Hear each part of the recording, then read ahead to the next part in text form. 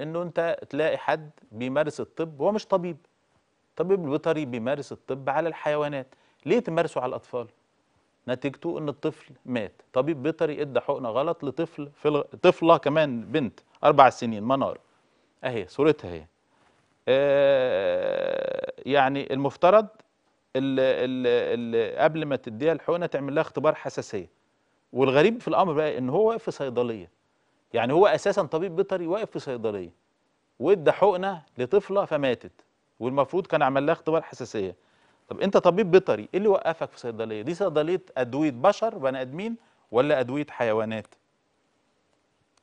دي في آه، بسيون واتقبض عليه. آه الله يكون في عون أهلها طبعا.